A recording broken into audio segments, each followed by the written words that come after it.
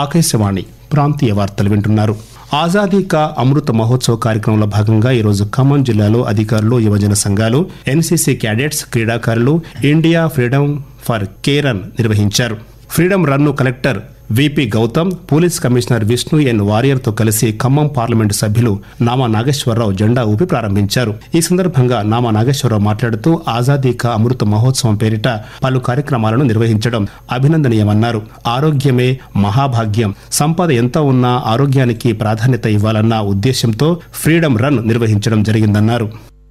Freedom run కనుక చూసినట్టయితే ఆరోగ్యం అందరికి కూడా చాలా ముఖ్యం. ఆ ఆరోగ్యంలో భాగంగానే ఇలా ఫ్రీడమ్ రన్ డెబ్బై సంవత్సరాలని గుర్తుంచుకోవడానికి గాను స్వతంత్రం వచ్చి ఫ్రీడమ్ రన్ తీశారు. పెద్ద ఎత్తున మరి జనాలు ఇక్కడ పాల్గొన్నారు. ముఖ్యంగా యూత్ అందరూ కూడా పాల్గొన్నారు. రాబోయే టైంలో కూడా ఆరోగ్యాన్ని అన్ని విధాలు కూడా అందరం కూడా జాగ్రత్తగా చూసుకోవాలని కోరుకుంటున్నాను